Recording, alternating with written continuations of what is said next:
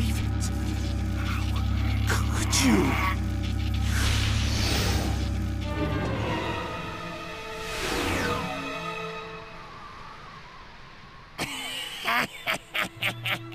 I must thank you. He has been a stubborn one, but with your help, I can finally control this flesh as my own.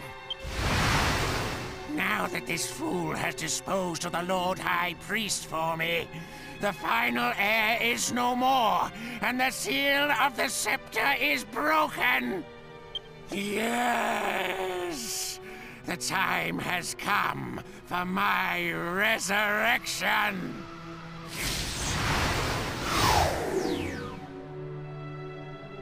Now, complete my revival. My revival to flesh and blood.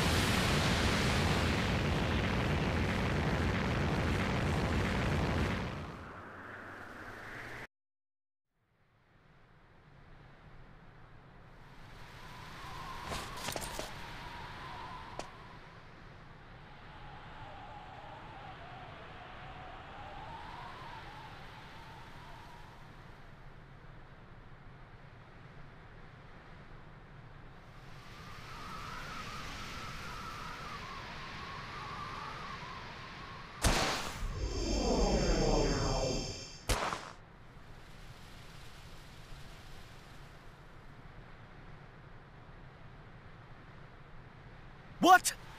What what are you doing? Let me go! If you hadn't interfered, I could have had all of Rhapthorne's power. But it's all over now. All hope is gone. Let me go! I don't want your help!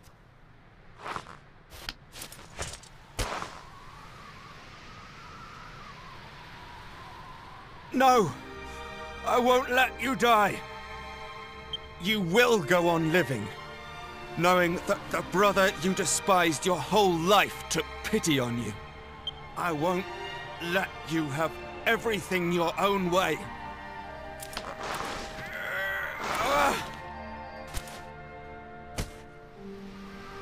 You're determined to disgrace me more?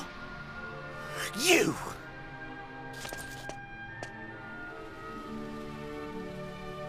More than ten years. It was more than ten years ago that I first came to the Abbey having lost my family. And you were the first person I spoke to. I had nothing. No family, no home. I was all alone and I didn't know anyone at the Abbey. You were kind to me. Just for those first few moments. You were genuinely kind. As soon as you found out who I was, it changed everything. But I never forgot that moment of kindness.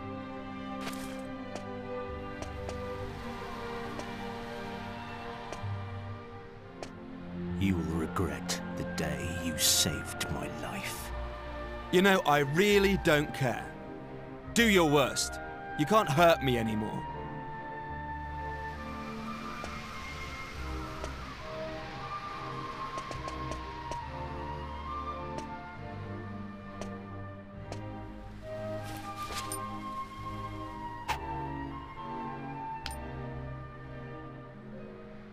Isn't this your ring?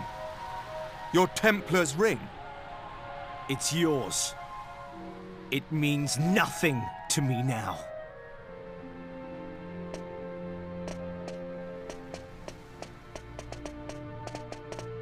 Angelo, are you just going to let him leave? He's really badly hurt.